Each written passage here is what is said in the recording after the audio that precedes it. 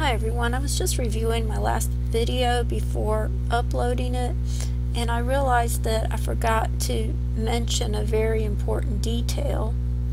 Okay, over here where it's talking about the whirlwind in Ezekiel 1:4 it says, And I looked and behold a whirlwind came out of the north and a great cloud and a fire enfolding itself and a brightness was about it, and out of the midst thereof is the color of amber, out of the midst of the fire. And I forgot to mention, I had looked up the word enfolding itself in the Hebrew, and when I looked at that, it actually confirmed what I saw in the Greek where it said to lift up.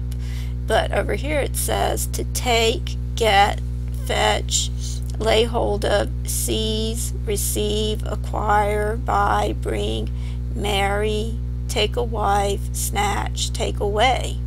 And it says take, take in hand. And it goes on to talk about taking away or seizing.